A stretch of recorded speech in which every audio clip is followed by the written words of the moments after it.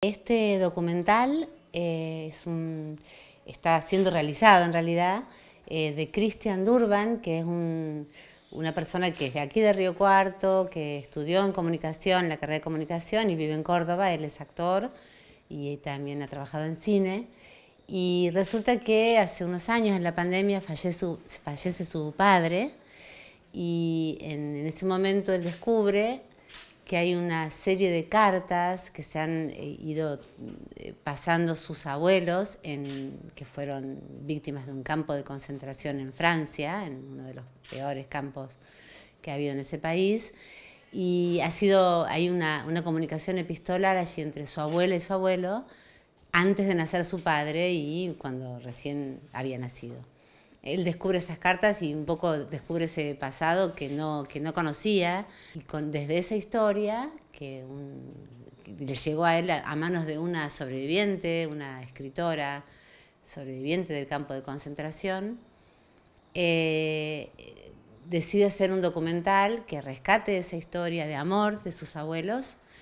que además es una historia, digamos, de la humanidad y que además él también la la, piensa en el contexto de la dictadura militar en Argentina. Así que eh, desde el Consejo Superior la declara de interés el proyecto de, este documental y junto con el Departamento de Ciencias de la Comunicación y de Trabajo Social y el Observatorio de Derechos Humanos, bueno, organizamos un poco esta, esta presentación en sociedad de este proyecto de documental. Esto va a ser en el aula magna el día viernes, este viernes a las 14 horas. Pasando a otro tema, profesora, ¿se va a realizar una actividad el próximo domingo 26? Sí, el domingo 26 estamos también organizando una capacitación, digamos, un taller, mejor dicho, en, rap, con una artista boliviana eh, que está de gira en Buenos Aires y en algunas otras ciudades, va a pasar por aquí. Esto lo hacemos junto con el programa Folk Tango Interior de Vicky Zagárnaga de la Radio Universidad, eh, que en, digamos, en el marco de que ese programa cumple 30 años, es el más antiguo de la radio, que lo creó Vicky Zagárnaga, eh, y además también